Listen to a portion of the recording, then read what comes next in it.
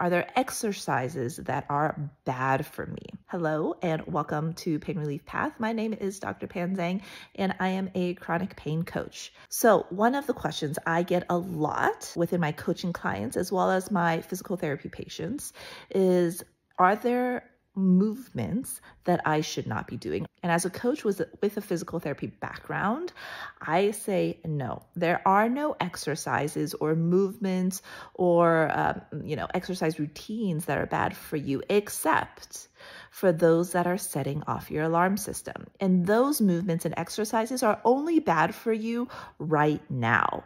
Once your alarm system can adapt to new movements. And once you get that alarm system calmed down, anything is good.